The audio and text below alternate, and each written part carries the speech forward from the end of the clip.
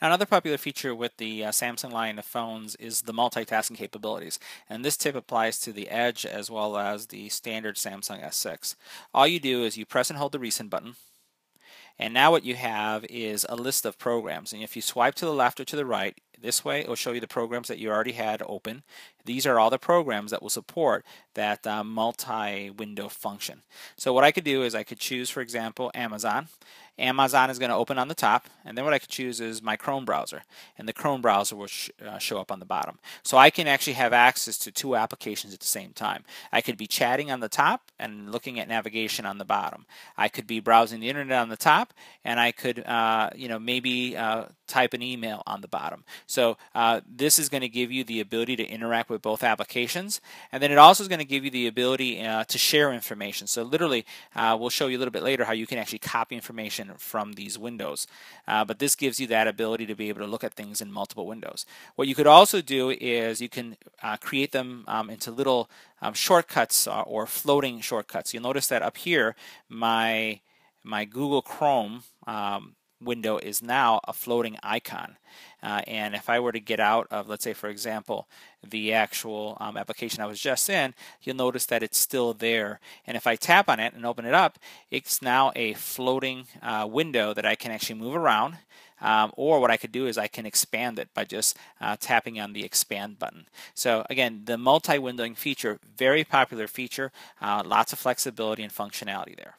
So the next function I'm going to show you is a floating window function, and most applications support it. If it doesn't, you'll just you won't be able to perform this specific function. So I'm going to open up a browser, and here I'm on Yahoo's homepage. And I'm going to take my finger from the upper right-hand corner. I'm going to slide down, and as you notice, as I'm sliding down, I'm getting an actual frame uh, that's framing my content. Once I let go, the content, this window, uh, that I was in is now been framed. And I can move it around by pressing my finger on the actual dot that you see at the top.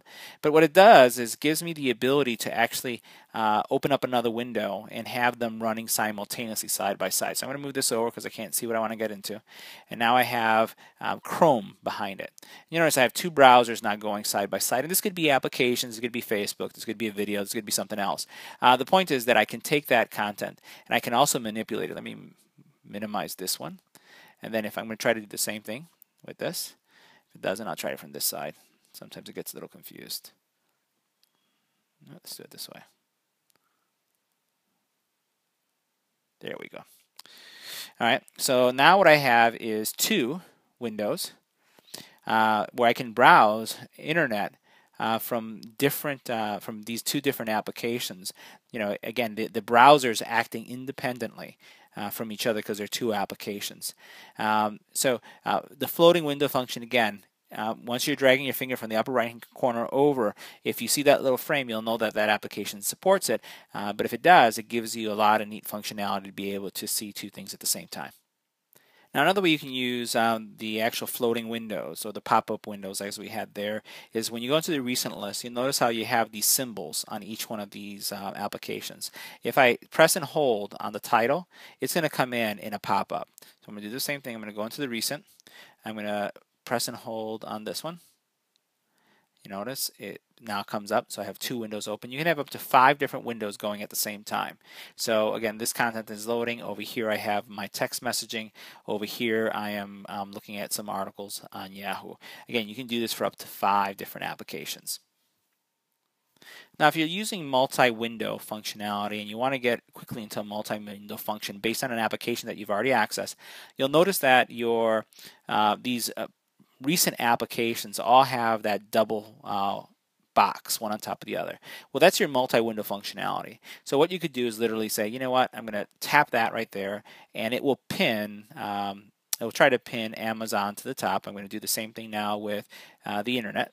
Do that right there. And all I'm doing is tapping that uh, specific function. Notice how it's right now on the top. Um, and now what I'm going to do is look at an application on the bottom, um, or I can swipe to go to a specific program that hasn't been launched, right? I can go to the recents and say, you know what, I'm going to bring in uh, this uh, text messaging. So now I'm looking at something on the top, and at the same time, I could be uh, sending a text message, again, based on what I'm browsing. Now, the other benefit of using the multi-window function is being able to share content between the windows. So let's say you're going to be writing a text message. Uh, to someone. I'm just going to get out of it for a second. Here's my text message. And there's an address or information here that I want to share with the uh, person I'm text messaging. All you do is you tap on the dot, you tap that icon, you press and hold on what you want to copy over, and now all you do is you just drag it. So see, uh, see what questions you your friends are asking today is the same amount of text that you saw that I just brought down. So you can share content um, also between the two windows as easy as just drag and drop.